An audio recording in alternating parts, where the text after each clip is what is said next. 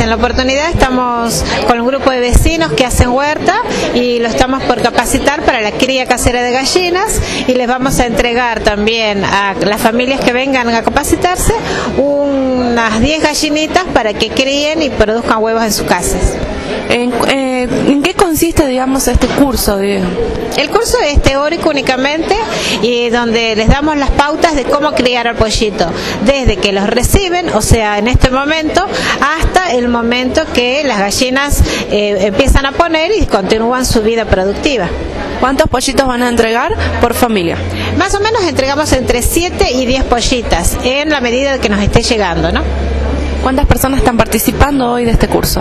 Y ahora están más o menos entre 40 y 50 familias eh, eh, asistiendo y se le va a entregar algunas más que están en el campo que los vamos a ir a capacitar mañana o pasado.